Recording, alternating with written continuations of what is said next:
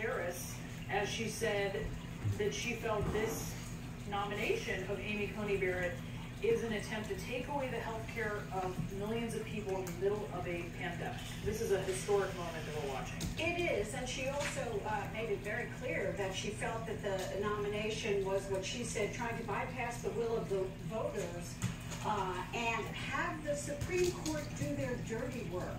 is the way she put it, when it comes to rolling back the Affordable Care Act. So this was clearly a frontal attack, not only on what Amy Coney Barrett would do if she is confirmed to the Supreme Court, but an attack on the Republican Senate, which clearly she wants to change control of the Senate to Democratic hands, and saying that they are going around uh, the will of the people, that the people ought to decide after this election. Making the case very clearly, Brianna, that it took 150